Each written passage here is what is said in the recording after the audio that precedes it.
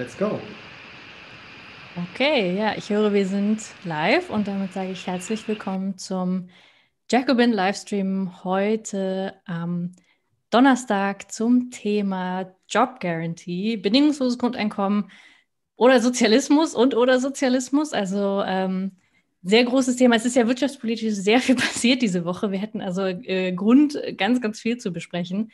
Ähm, also die Schuldenbremse wurde gekickt und äh, plötzlich an der Börse gibt es äh, ganz viele verrückte Spielereien mit GameStop. Es gibt viel zu besprechen. Aber heute werden wir nicht das alles auflösen können, sondern uns ganz grundlegend ähm, darum kümmern und um die Frage kümmern, ähm, es gibt gerade eine Krise, eine Corona-Krise und alle Menschen brauchen soziale Sicherheiten. Da kommt die Frage des Sozialversicherungssystems, des Sozialsystems überhaupt ähm, nochmal auf die Tagesordnung, nochmal stärker als sonst. Und Linke streiten sich ja ähm, besonders gern. Und ein Streitthema der letzten Jahre, was jetzt halt wieder noch heißer diskutiert wird als vorher, ist die Frage, bedingungsloses Grundeinkommen, ist das jetzt die Lösung für so eine Krisensituation? Ist das allgemein eine Lösung?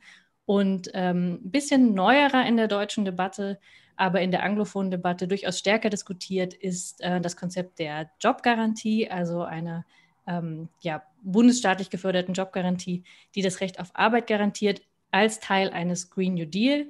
Und ähm, wir haben zu beiden Vorschlägen jeweils schon Texte veröffentlicht bei Jacobin, weil wir die Debatte sehr wertvoll finden und weil wir finden, dass wir als Linke uns darüber austauschen sollten, wie eigentlich der Sozialstaat, mit dem wir offensichtlich nicht zufrieden sind, ähm, reformieren können und was ist eigentlich der beste Hebel dazu, um tatsächlich eine größere Transformation anzustreben. Das äh, ist das, was wir Sozialismus nennen, zumindest jetzt hier in der Überschrift. Und ich freue mich sehr, dass ich zwei äh, Ökonomen bei mir habe, die jeweils diese beiden Positionen vertreten. Bedingungsloses Grundeinkommen und ähm, Job Guarantee. Einmal für die äh, Job Guarantee Maurice Höfgen. Hallo Maurice. Hi, freut mich jetzt und, zu sein. Und als äh, sozusagen der äh, Gegner, aber wir wollen das gar nicht so als Mega-Streit äh, machen, aber trotzdem natürlich in der Härte der Sache ähm, diese Debatte führen. Äh, Sebastian Thieme, hi, auch an dich, danke, dass ihr euch die Hallo. Zeit genommen habt. Genau, die beiden haben auch äh, Artikel jeweils veröffentlicht bei Jacobin. Das ist so ein bisschen die Grundlage der Debatte. Und wir wollten das eben nicht nur als, als Artikel nebeneinander stehen lassen, sondern jetzt auch mal äh, persönlich besprechen. Und ich bin äh, froh, dass ihr dabei seid. Maurice ist Ökonom und Betriebswirt und arbeitet als wissenschaftlicher Mitarbeiter für Finanzpolitik am Bundestag. Und äh, darüber hinaus hast du jetzt, weil du so produktiv bist, zumindest in meinen Augen, äh, noch ein Buch geschrieben, nämlich Mythos Geldknappheit. Ähm, du bist Vertreter auch der Modern Monetary Theory. Das ist ja auch etwas, was jetzt äh, viele schon äh, wahrscheinlich gehört haben mittlerweile, was auch so ein bisschen rüber geschwappt ist, kannst du ja gleich nochmal äh, erklären, was dein Hintergrund ist und versuchst es auch äh, bildungsmäßig äh, zu verbreiten. Also hast mittlerweile auch einen YouTube-Kanal und ähm, versuchst du in kleinen ansprechenden Videos das zu erklären. Also da könnt ihr auf jeden Fall auch nochmal äh, reingucken. Und Sebastian ist promovierter Diplom-Volkswirt und seine Arbeitsschwerpunkte liegen in der Subsistenz als Wirtschaftsmotiv, Wirtschaftsethik, plurale Ökonomik, Sozialökonomik und ökonomische Misanthropie. Und er hat mir versprochen, dass er das nochmal gleich erklärt, was das genau bedeutet, was dein misanthropischer, was eigentlich dein, dein äh, Menschenbild von Ökonom oder dein Bild von Ökonom ist, was es, was es so misanthropisch macht. Das äh, kannst du gleich auf jeden Fall noch machen. Und genau, wir werden das jetzt gleich äh, so machen, dass ich die beiden konfrontiere mit äh, Kritikpunkten, die es jeweils gibt an den Konzepten der Job Guarantee ähm, und des Grundeinkommens. Aber erstmal natürlich den beiden die Möglichkeit gebe, sozusagen ein Plädoyer zu halten ähm, für ihr Konzept. Vielleicht geht da auch schon gleich so ein bisschen Kritik äh, am jeweils anderen, glaube ich, bleibt uns da nicht erspart. Und ähm, Genau, werde auf jeden Fall versuchen, dass wir das äh, ganz Stück für Stück äh, den Ebenen nach, äh, dass euch das klar wird, was die Unterschiede sind zwischen den beiden Konzepten. Und natürlich nehmen wir auch gerne die Fragen ähm, von euch mit auf. Wie gesagt, es gibt ja Verfechter und Kritiker, das ist sehr, sehr hart. Ähm, also stellt gerne alle Fragen, äh, die ihr habt, und wir werden das mit einbauen. Und natürlich am Ende noch die Frage, schließt es sich überhaupt aus? Also muss es, äh, muss es sich ausschließen, müssen wir den Streit führen, oder gibt es eine gemeinsame Perspektive? Ähm, aber bevor wir so versöhnlerisch anfangen, würde ich sagen, ähm, wollen wir erstmal klarziehen, was die Unterschiede sind. Und ähm, ja, ich würde sagen, äh, wir fangen einfach mit der Job Guarantee an. Bei mir, Maurice, bist du hier oben. Und äh, du hast also ein paar Minuten Zeit zu erklären, warum wir als Linke jetzt die Job Guarantee brauchen. Ja, vielen Dank für die äh, nette und liebe Einführung. Also die Job Guarantee ist tatsächlich erstmal, sie kommt aus der Denkschule der ähm, Modern Monetary Theory, die hat es eben schon kurz erwähnt, ist eigentlich erstmal gar kein Sozialstaatskonzept, sondern ist quasi die Antwort auf ähm, die Neoklassik oder den Neoliberalismus ähm, vereinfacht, die Arbeitslosigkeit nutzen wollen, um Preisstabilität zu erreichen. Es ist einfach erklärt, man setzt quasi darauf, dass wenn äh, Vollbeschäftigung herrscht und zu viele Leute Arbeit bekommen, dann steigt die Verhandlungsmacht der Beschäftigten, dann fordern die höhere Löhne und dann gibt es Inflation. Um das zu verhindern, äh, setzt man auf eine Reservearmee an Arbeitslosen, wenn man so will, um quasi diesen Inflationsdruck zu verhindern. Und die MMT greift das quasi auf und sagt, äh, lasst uns doch anstatt einen Pufferbestand an Arbeitslosen einen Pufferbestand an Beschäftigten nehmen und denen dann eben einen aufs Gemeinwohl ausgerichteten, zu sozialverträglichen, Mindestlohn vergüteten, auf deren äh, Motivation und Leistung und Qualifikation ausgerichteten Job ähm, äh, anbieten. Es ist ein bedingungsloses oder ein universelles Jobangebot sozusagen an jeden, der Arbeit sucht, aber keine Arbeit im Privatsektor oder in dem regulären öffentlichen Sektor findet. Es, die Idee ist, dass es vom Bund finanziert wird, weil er natürlich die stärksten Schultern hat und von der Kommune, Stadt oder Gemeinde, wie auch immer, organisiert und verwaltet wird. Das ist sozusagen die Grundidee. Und das ist quasi der eine Strang, der dazu führt, warum eine Job Guarantee quasi als makroökonomisches Tool für Preisstabilität. Ein anderer Strang ist aber auch, wenn man an das Recht auf Arbeit glaubt, was ja auch tatsächlich schon in der allgemeinen Erklärung der Menschenrechte steht und ähm, das für erstrebenswert hält, dann muss man eben beantworten, wie denn das umgesetzt wird.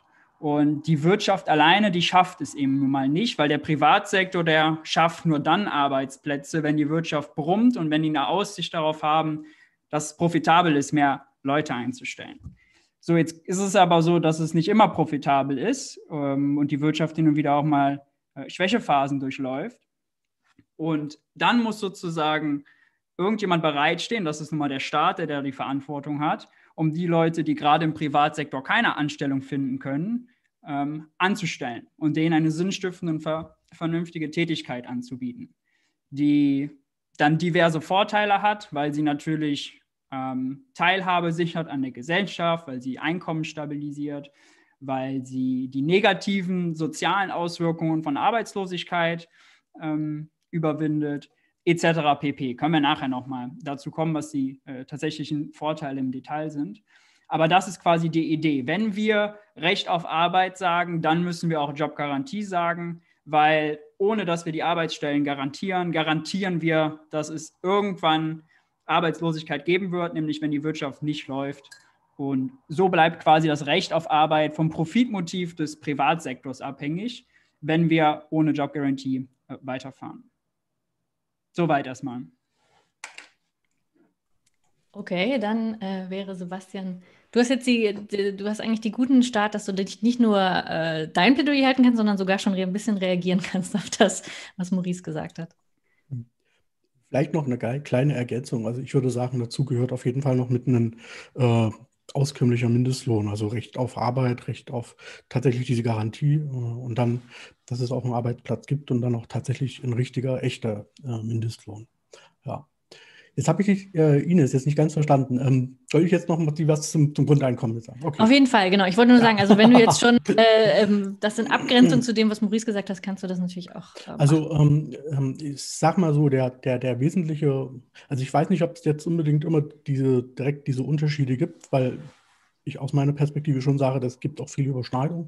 Aber ich glaube, der wesentliche Punkt, warum ähm, was, was hier beim, beim Grundeinkommen eine große Rolle spielt, ist, dass das Grundeinkommen ähm, ähnlich wie die Jobgarantie im Prinzip ähm, ein Anspruch ist, der universell gültig ist. Allerdings äh, im Unterschied halt zur Jobgarantie eben ähm, erstmals nur ein Einkommen garantiert. Also es geht jetzt nicht um, um darum, jemandem sofort im Prinzip einen, einen Job zu garantieren, sondern jetzt geht es erstmal äh, mit, der, mit dem Grundeinkommen darum, dass Menschen tatsächlich den Anspruch haben, an, auf ihre auf eine Existenz, Existenzerhaltung, äh, ich nenne das Selbsterhaltung, ähm, gesellschaftliche Teilhabe und zwar als unverfügbares Menschen- und Grundrecht. Das ist im Prinzip der ganz zentrale Dreh- und Angelpunkt, der hier immer und immer wieder auch, selbst bei neoliberalen Modellen muss man dazu sagen, äh, immer wieder als ein Argument herangeführt wird. Das ist im Prinzip der ganz wichtige archimedische Punkt.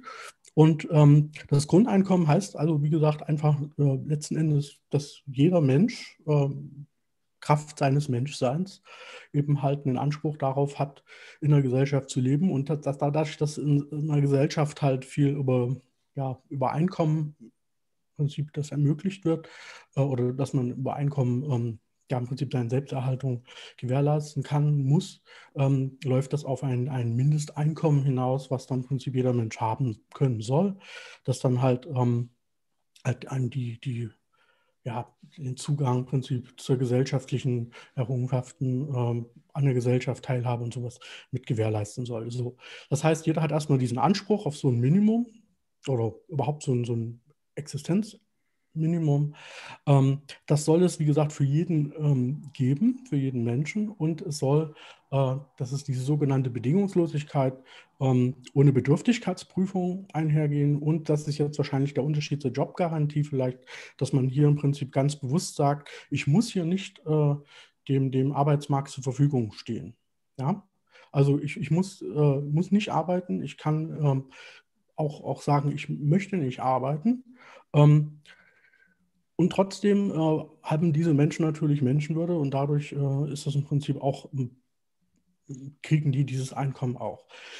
Warum dieses ähm, Grundeinkommen jetzt auch so eine große Zuwendung erfährt, hat unter anderem damit zu tun, dass wir in einer Gesellschaft leben, die sich viel stärker an einer Arbeits- und Marktgesellschaft mit einem marktfundamentalistischen Erwerbsmythos orientiert, wo wir zwar ein Sicherungssystem haben, ähm, Hartz IV, aber eben gerade letztes Jahr war die Debatte über die Sanktionen sehr stark, man halt doch merkt, dass Menschen im Prinzip nicht wirklich das äh, Existenzminimum, die überhaupt Menschenwürde zugestanden wird und ähm, das Grundeinkommen würde damit also Schluss machen. Man hätte im Prinzip immer ein Einkommen, was äh, einem im Prinzip eine Basis ermöglicht. So. Und ähm, vielleicht noch ein kleiner Punkt, warum das vielleicht auch gerade jetzt in der Corona-Krise so ein großes so, naja, zumindest ein großes Interesse geweckt hat. Es gibt sicherlich eine ganze Reihe von Fällen, die jetzt ähm, in Anführungsstrichen zwar angewiesen wären auf das Hartz-IV-System, aber da auf einmal rausfallen. Ja, beispielsweise Studierende, die jetzt ihren Job äh, durch einen Job im Prinzip das Studium finanzieren. Ähm, wenn die den Job durch die Corona-Krise wegbekommen äh, haben, müssten die sich sozusagen erstmal exmatrikulieren lassen, um dann tatsächlich Hartz-IV-Leistung beantragen zu können. Das sind solche Fälle, die im Prinzip ähm, äh, das Grundeinkommen mehr oder weniger ähm, obsolet machen würde. Ähm, und äh, gerade auch in Bereichen, so Grenzbereichen äh, im künstlerischen Bereich, ähm, äh, wo dann im Prinzip auch Probleme wären mit Anrechnungs, wo das am Anfang auch nicht so ganz funktioniert hat. Und wenn man sich mit Künstlerinnen und Künstlern unterhält, weiß man auch, dass es da zum Beispiel bei unserem Sozialsystem mit Hartz IV halt schon auch Probleme gibt und einige dann eigentlich auch gar nicht das beantragen wollten, weil sie dann auch Nachteile hätten. Also insofern gibt es da auch verständlicherweise eine ganze Reihe auch von Leuten, die dann ähm, damit sehr viel anfangen können, dass sie dann halt dort tatsächlich ein Netz haben, was sie dann auffängt. So, und das ist im Prinzip das ähm, mal in einer knappen Form. Vielleicht noch zwei Ergänzungen. Es gibt nicht das Grundeinkommen, sondern es gibt verschiedene Grundeinkommensmodelle. Ähm, da gibt es auch welche, die ich jetzt zum Beispiel auch nicht vertreten würde, ähm, aber die werden in der Debatte auch sehr stark ähm, kontrovers diskutiert. Und man muss auch sagen, dass über verschiedene Aspekte auch innerhalb, also gerade Preisstabilität oder sowas, solche Sachen im Prinzip auch manche blinde Flecken aufweisen in der Debatte, aber manche werden halt auch diskutiert. Also es ist halt alles, ähm, es, es ist schwierig jetzt zu sagen, da gibt es dieses Grundeinkommen und damit hat sich, sondern nee, das gibt halt ganz unterschiedliche Modelle. Da muss man dann ähm, häufig halt doch nochmal genauer in die Tiefe reinschauen. Und da gibt es halt, gerade was die Frage der Höhe und so weiter betrifft, ganz, ganz unterschiedliche ähm, Auslegungen, wie hoch das Grundeinkommen sein soll und so weiter. Das muss man mit dem Hinterkopf behalten. Wenn ich wenn ich vielleicht ganz kurz nochmal ganz kurz darauf reagieren könnte. Ähm, mhm. hier, hier, wird quasi schon mal ein, deutlich ein Unterschied auf einer Metaebene sozusagen, dass das BGE auf der Konsumseite dieser Welt an, ansetzt und den Leuten quasi da Freiheit in ihren Konsumentscheidungen äh, verschaffen will, während die Job Guarantee auf der Produktionsseite dieser Welt ansetzt. Und ähm, beide lösen halt in gewisser Weise auch verschiedene Probleme. Also das Problem der Arbeitslosigkeit. Ähm, jemand möchte einen Job suchen, aus welchen Gründen auch immer, wird zum Beispiel durch das BGE ähm, nicht gelöst. Äh, makroökonomische, also dieser Preisstabilisierungseffekt, zum Beispiel das, Preis, äh, das Preislevel quasi, äh, dem einen Anker zu verpassen mit einem Job, mit einer Jobgarantie. Das ist nicht das erklärte Ziel eines BGE. Ja? Das BGE will quasi das Einkommen kompensieren und dann kommen diese Preisstabilitätsfragen danach. Aber die sind nicht quasi das Feature, sondern die sind quasi dann, dann ein Problem, auf das man trifft. Und deswegen, also da sozusagen, darf man die auch nicht immer miteinander vergleichen, weil die verschiedene Probleme auch lösen. Mhm. Wenn ich mal ganz kurz zurückfragen darf, weil mir das auch bei deinem Artikel ein bisschen äh, nicht ganz so klar war. Was meinst du denn äh, ganz konkret mit Produktionsseite oder Produktion? Na, ich, das ist, glaube ich, ziemlich trivial. Also die Arbeitswelt, ja, also Beschäftigung, also an der Produktion der Güter und Dienstleistungen, die wir konsumieren, teilzunehmen. Naja, also nur mal Arbeit schafft und Out, Output erzeugt, während ein BGE ja kein Output erzeugt, sondern nur quasi. Würdest du dann sagen, dass die Produkt, würdest du dann sagen, dass die Produktion von Lebenden unproduktiv ist? Naja, es ist quasi Selbsterhaltung, wie du gesagt hast, ja. Aber daran teilzunehmen, Güter und Dienstleistungen zu konsumieren in einer arbeitsteiligen Gesellschaft, dann nimmt das BGE eben nicht teil. Und es, es, gibt uns sozusagen Demokratie auf der Konsumseite, aber ich würde sagen, die Welt der Produktion sollte genauso demokratisch sein wie die Welt der, des Konsums. Und da negiert das BGE das, weil das BGE ja nur kaufen kann, was andere produzieren. Also das, was sozusagen Produktion Selbsterhaltung ist, ist ja nichts, was vermarktet wird, einen Preis hat und man kauft. Ist ja nicht Teil der, der Arbeitsteilung in dem Sinne. Stückweise auch, aber nicht nur. Aber Güter und Dienstleistungen, die wir konsumieren, ja, die müssen Leute quasi mit ihrer Mühe und ihrer Zeit produzieren, damit wir sie konsumieren können. Wir werden da gleich, also wir werden da das, äh, das Problem gleich nochmal äh, angehen. Ich wurde nochmal freundlich darauf hingewiesen, was natürlich stimmt.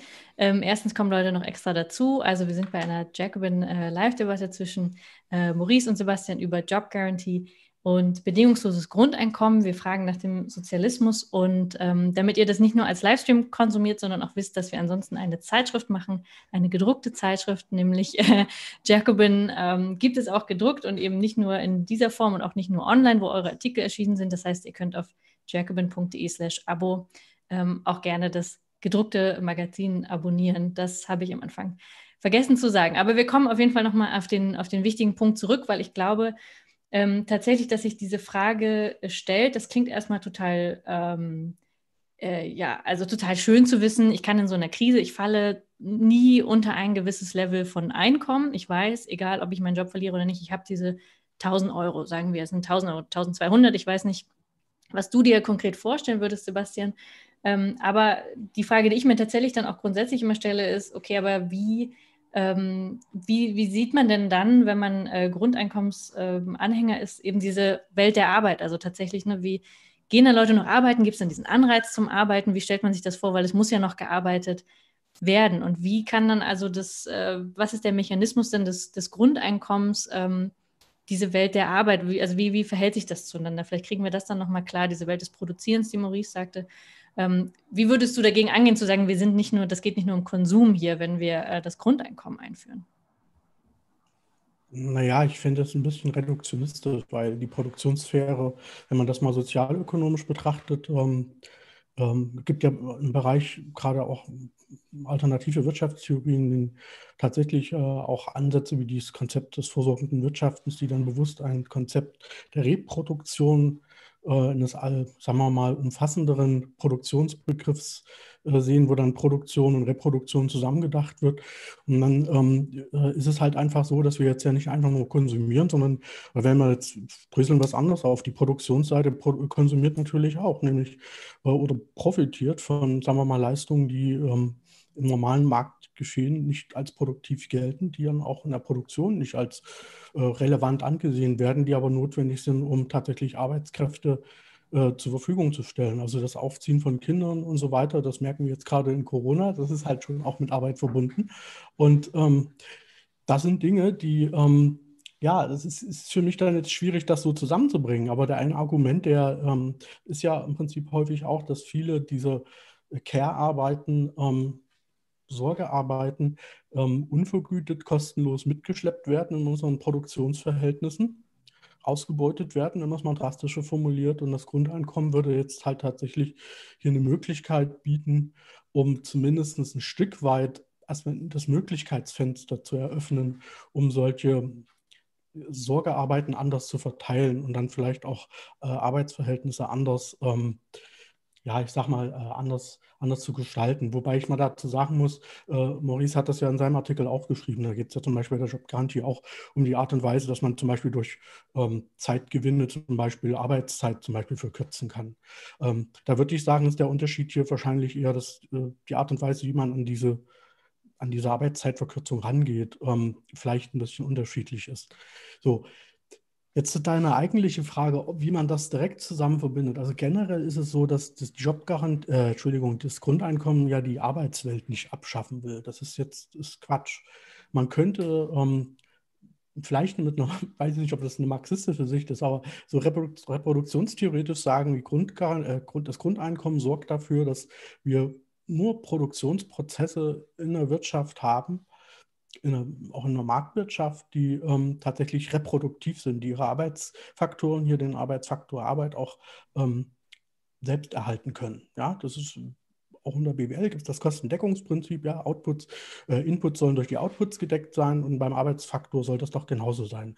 Dann könnte man sagen, das wäre das so eine implizite Lohnuntergrenze irgendwo. Wobei das aber auch wieder falsch ist, weil äh, ist das Grundeinkommen sich nicht auf ein Arbeitsverhältnis bezieht. Da gibt es noch ganz andere Punkte, die dann solche Löhne ähm, bewerkstelligen sollen. Aber das bietet zumindest erstmal einen, einen, einen Unter- einen Bodensatz, auf dem dann beispielsweise auch zum Beispiel über faire Löhne erstmal angefangen äh, werden kann zu diskutieren. Und da würde ich sagen, ist dann die Verbindung schon da. Wir brauchen erstmal eine Vorstellung davon, was brauchen Menschen in der Gesellschaft, was muss dann auch in Anführungsstrichen produziert werden, was für Konsum brauche ich, welcher Konsum ist reproduktionsnotwendig und mhm.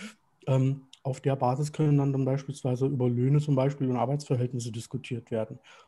So, das wäre sozusagen die Verbindung, die ich da sehen würde. Das mhm. ist im Prinzip die Arbeitswelt an sich, auch der Arbeits, also dass das Arbeiten an sich auch nicht direkt abgeschafft wird, sondern es ist halt ein Stück weit, ähm, soll humanisiert werden, würden jetzt Grundeinkommensbefürworterinnen und Befürworter sagen.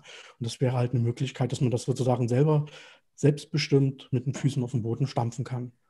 Und es gibt die äh, Frage, die ich auch sonst noch gestellt hätte, was ist genau der Unterschied zwischen einer auskömmlichen Grundsicherung? Also darauf einigt man sich ja in der Linken auch relativ grundsätzlich, dass Hartz IV nicht ausreicht und dass man sagt, es braucht so eine Mindestsicherung, Grundsicherung. Kannst du noch mal ganz kurz sagen, was jetzt der Unterschied dazu ist zu dem bedingungslosen Grundeinkommen?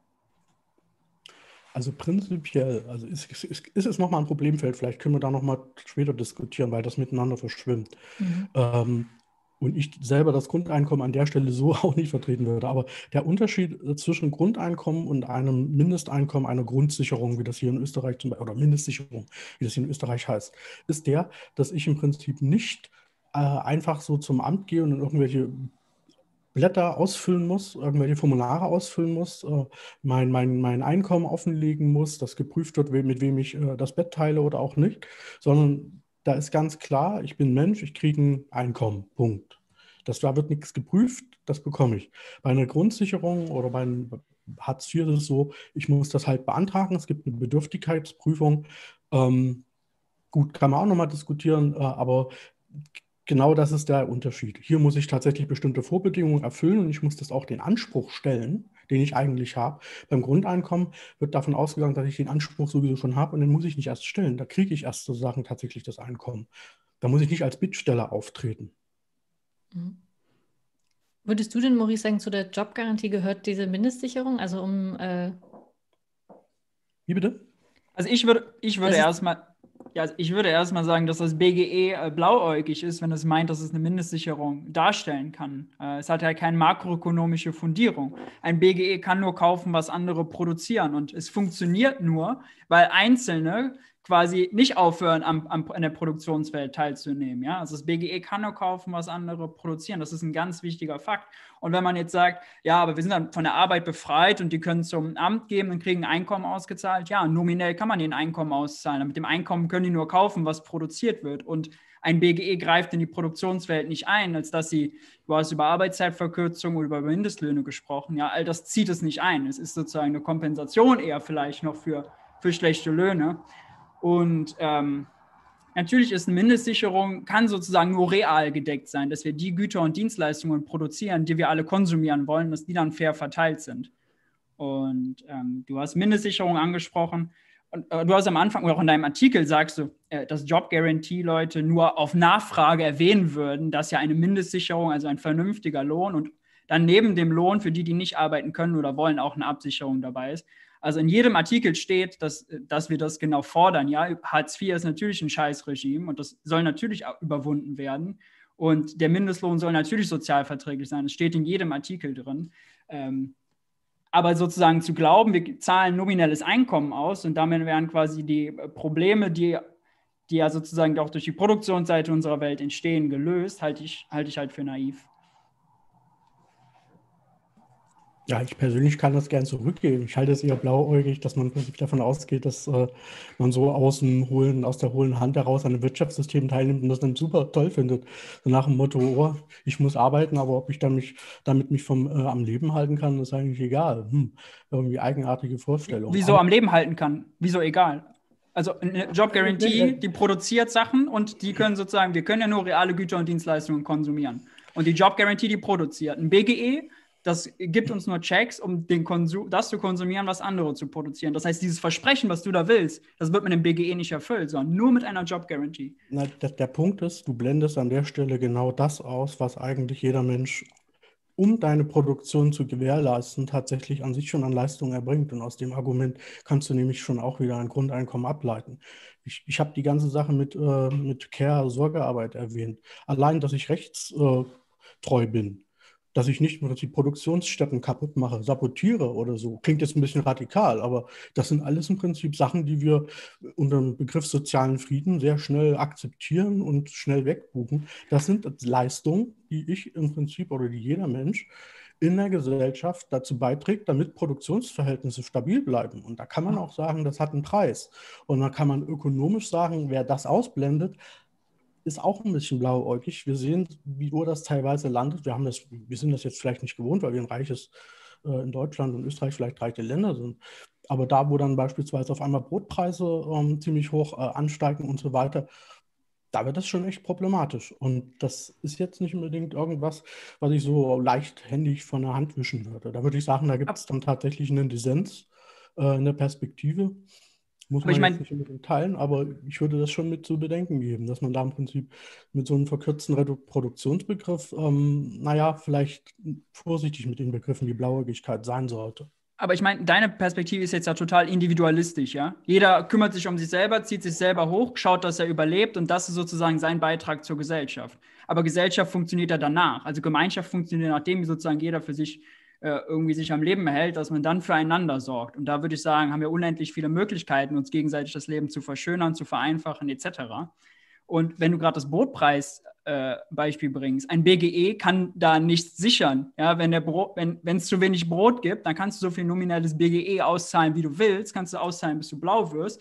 Du brauchst sozusagen die Produktion. Und die kann eben durch eine Job Guarantee dann zum Beispiel eben hergestellt werden und durch ein BGE nicht. Das kann nur kaufen, was andere produzieren. Allerdings nur unter Arbeitszwang, wenn du das dann so äh, formulierst. Zu dem Arbeitszwang äh, kommen wir auf jeden Fall gleich noch, weil ich weiß, es ist auch eine, eine, eine sehr, das wird auch sehr leidenschaftlich diskutiert. Aber genau, ihr seid jetzt an dem Punkt, wo ihr euch gegenseitig Blauäugigkeit ähm, vorgeworfen habt. Also wir sind schon mal ähm, mittendrin. Aber so, wenn ich jetzt nochmal so von außen frage, im Prinzip wollen beide, haben das Ziel, Arbeitslosigkeit abzuschaffen, beziehungsweise, Nein. also es gibt dann dieses Problem nicht. Oder würdest du sagen, aber die Job Guarantee schon, es gibt dann eigentlich keine Arbeitslosigkeit mehr. Wenn man aber auch das Grundeinkommen nimmt und sagt, alle haben auskömmliches Einkommen, ist Arbeitslosigkeit ja im Prinzip auch kein Problem mehr. Doch.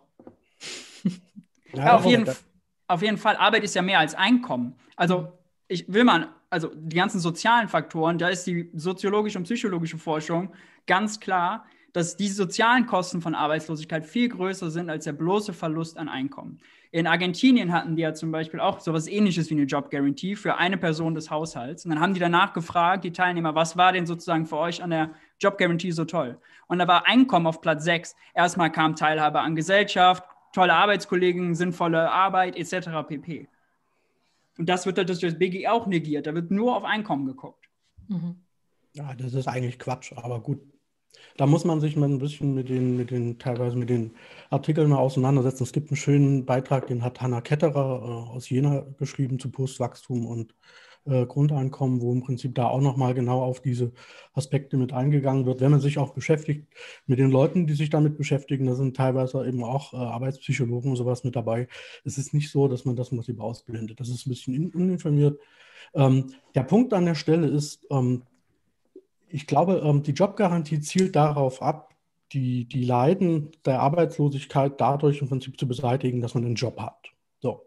Das ist in einer Arbeits- und wo auch eine, sagen wir mal, ein gewisser Markt- oder nee, Erwerbsmythos eine Rolle spielt, ist das auch klar. Das ist auch nicht nur in einem BAD oder einem kapitalistischen System so, wenn man die DDR guckt. Ne?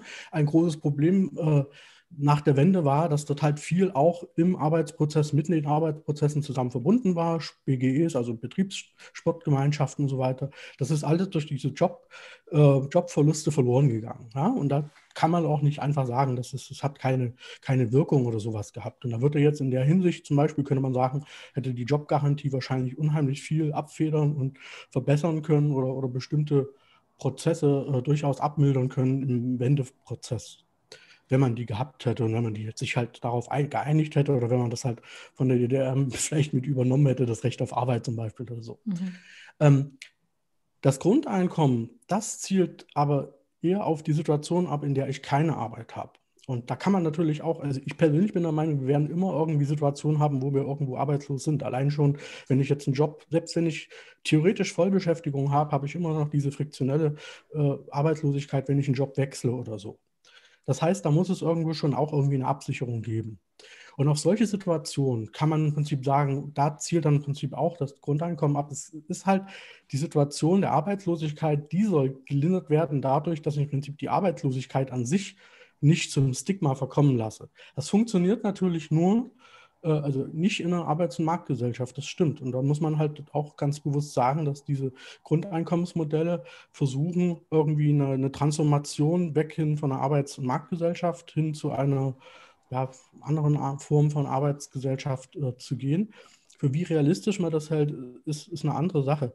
Die Frage, äh, der Punkt ist nur, man muss dann halt schon die Referenzpunkte heranziehen. Es ist halt schon so, dass das Grundeinkommen als einerseits als Transformationsprojekt gedacht ist und eigentlich auch nicht unbedingt ähm, oder darauf abzielt, konkret Arbeitslosigkeit ähm, nicht so stigmatisierend zu machen, wie wir das jetzt zum Beispiel bei Hartz IV haben.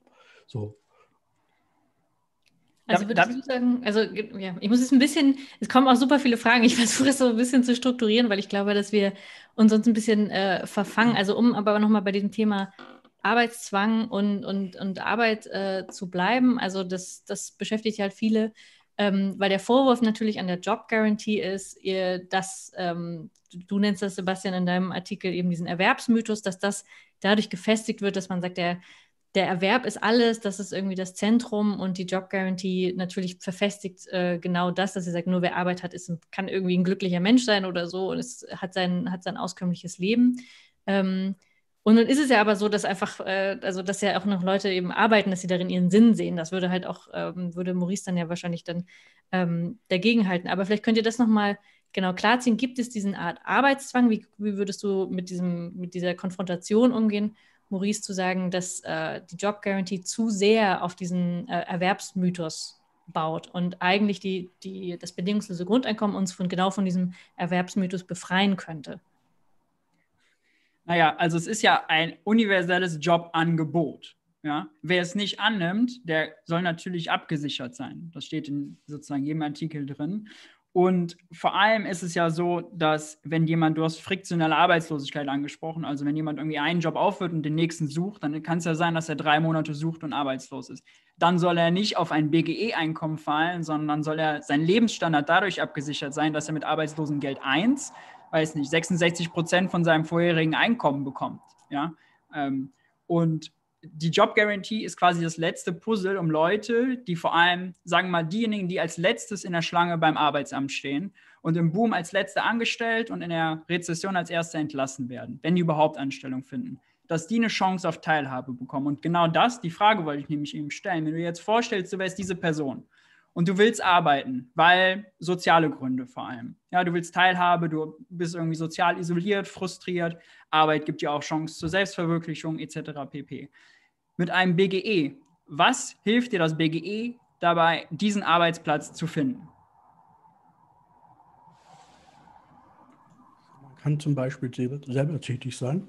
Man kann sich mit anderen Leuten genossenschaftlich organisieren und dann beispielsweise mit den Einkommen, die ähm, man dort hat, äh, dann tatsächlich auch gemeinsam beispielsweise Projekte äh, oder Arbeitsplätze sozusagen schaffen. Man kann sich politisch damit äh, engagieren. Das ist auch eines der großen Argumente des, der BGE-Befürworterinnen und Befürworter, dass ich da im Prinzip auch erstmal die Möglichkeit wieder habe, tatsächlich ähm, frei Ehrenämter und so weiter auszuüben und darüber dann beispielsweise dann auch Arbeitsplätze zu schaffen. Das wäre im Prinzip eine, das wäre im Prinzip die Antwort, die jetzt BGE-Befürworterinnen und Befürworter geben würden. Ähm, der andere Punkt, den muss ich ein bisschen, ein kleines bisschen zurückspielen, weil ich finde das eigentlich ganz vom Konzept her super. Das Problem, was ich habe, ist, ähm, das hat aber nichts mit der, das soll jetzt kein Gegenargument gegen das Job, die Jobgarantie sein, aber da muss man generell mal drüber nachdenken ähm, wie wir dann tatsächlich das Verhältnis äh, Staat, Wirtschaft, Privatwirtschaft gestalten. Denn bis jetzt ist es ja so, wir hatten ja die Idee, also dass, dass man im Prinzip Jobs angeboten bekommt oder so, die gibt es ja schon relativ lange. Auch bei Hartz IV, dieses Fördern und Fördern ist ja eigentlich aus dieser Workfare-Idee mit teilweise entstanden. Und da war schon zum Beispiel von Helga Spingler gesagt worden, ja, wenn wir das jetzt tatsächlich anbieten, haben wir bei solchen ähm, Jobangeboten, einerseits kostet es auch irgendwo, und das Zweite ist, wir haben dann immer diesen Grundsatz äh, bislang, dass wir im Prinzip Jobs anbieten müssen dort, wo wir die Privatwirtschaft nicht schädigen. So, das heißt, wir müssten dann tatsächlich im Rahmen, im Rechtsrahmen wahrscheinlich noch was zu ändern, dass wir dann tatsächlich auch sagen können, äh, wir schaffen dann auch möglicherweise Jobs ähm, und müssen die dann auch beispielsweise, wenn die den Leuten Spaß machen und die halt tatsächlich mit einer Jobgarantie in einen Job kommen, der ihnen auch eine Erfüllung gibt, dass wir die im Prinzip dann auch schützen, beispielsweise vor sagen wir mal, marktwirtschaftlicher Konkurrenz, wo man dann halt äh, möglicherweise dann auch gucken muss, dass dann im Prinzip da jetzt nicht irgendwie ähm, was weiß ich, in irgendeiner Kommune äh, ein, ein kleiner Konsum wieder aufgebaut wird, genossenschaftlich, und dann äh, wieder vom Discounter platt gemacht wird. Dafür, da haben hätten wir dann im Prinzip tatsächlich äh, auch nicht viel, viel gekonnt. Also das ist im Prinzip ein Punkt, der mich da mal interessieren würde, äh, Maurice, wie, wie, ähm, wie weit würde das, die Jobgarantie da tatsächlich gehen? Also, also im Verhältnis. Ähm, ja, also die Jobs. Ja. Die Jobs sollen explizit keine Konkurrenz zum Privatsektor darstellen, also jetzt nicht eine Jobgarantie-Bäckerei neben einer normalen Bäckerei quasi aufmachen, vereinfacht. Und sie sollen aber auch keine reguläre öffentliche Beschäftigung ersetzen. Ja? Ähm, wenn wir irgendwie Pfleger und Lehrer und so weiter haben wollen, dann stellen wir die ganz normal ein. Die kommen nicht in, in die Jobgarantie, weil die quasi das, das letzte Puzzlestück sozusagen nur sind. Und ähm, ich, ich wollte jetzt eine Frage noch stellen, die habe ich jetzt aber vergessen. Das ist kein Problem. Du kannst sie jetzt kannst sie auf jeden Fall später noch stellen, weil es kommen natürlich, also wir sind jetzt noch sehr auf einer ähm, analytischen Ebene, was so ein bisschen spekulativ ist, weil natürlich beides jetzt noch nicht so richtig äh, so vorstellbar ist, weil beides wirkt jetzt so ein bisschen fremd zu der Realität, die wir halt haben, nämlich ähm, eben Hartz IV und jetzt ähm, Kurzarbeitergeld, wo wir fast schon froh sind, dass es das gibt, aber es ist ja trotzdem ähm, eigentlich nicht das, was wir uns ähm, wünschen würden. Und es gibt natürlich die reelle Frage, aber trotzdem, wie, wie setzt man das um? Also ähm, was würde, was müsste jetzt passieren, um jeweils die Job Guarantee einzusetzen, auch an anderen Reformen drumherum? Genauso an dich die Frage, Sebastian, wie ähm, würde man jetzt, wenn man idealerweise, du kannst es jetzt mal so aussprechen, ähm, das Grundeinkommen jetzt einführen würde? Es gäbe eine Bundesregierung, die das die das macht. In dem äh, Text von Christoph Butterwegge, die wir auch gebracht haben, der auch sehr kritisch war, äh, mit dem BGE schreibt ihr, wenn jetzt sofort für ein halbes Jahr alle in Deutschland 1000 Euro bekommen sollten als Grundeinkommen, würde uns das 500 Milliarden Euro kosten. Also sozusagen, wie ist das volkswirtschaftlich überhaupt ähm, zu, zu machen, zu erwirtschaften? Maurice hat das Problem ja auch schon mal ähm, dargestellt am Anfang, aber natürlich genauso stellt man sich die Frage, was, wie konkret würde man jetzt Arbeitsagenturen umbauen, dass die halt nicht mehr ähm, dieses Hartz-IV-System durchsetzen, sondern wie würde der Staat, würde dann ja eigentlich diese Jobs ja schaffen und als Arbeitgeber fungieren? Vielleicht könnt ihr noch mal ganz konkret werden, weil das, glaube ich, viele nicht sich vorstellen können, wie das in der Umsetzung wäre. Also für die Job Guarantee wäre es einfach so, dass man, du hast gerade die Arbeitsagenturen schon erwähnt, die machen heute schon den Großteil der Arbeit, die die Motivation und die, das Leistungsprofil der Leute quasi auf und versuchen die dann in Jobs im Privatsektor zu vermitteln. So, anstatt jetzt quasi in die Datenbank zu gucken, Privatsektor, haben die dann eben noch eine Datenbank an Jobs, die eben gemeinnützig in der Kommune sind und anfallen. Die Liste wird quasi dann sagen wir mal, kommunal erhoben, kann man noch irgendwie basisdemokratisch das irgendwie die Nachbarschaften melden, was für sinnvolle äh, Jobs oder Projekte die denn vorschlagen. Und dann gibt es eine ganze Liste und die Teilnehmer können auch selber was vorschlagen. Und dann könnte man noch so ein Prozedere einbauen, dass das Arbeitsministerium quasi checkt, ob diese Jobs eben gemeinnützig sind, ob die nicht in Konkurrenz mit dem Privatsektor stehen, etc. Und wenn diese Haken getickt sind, dann werden die Leute eben quasi denen diese Jobs angeboten. Ja? Also der, die Person bei der Arbeitsagentur kann dann sagen, ja, hier finden wir das und das im Privatsektor, aber hier haben wir auch eine Job Guarantee, Job XYZ.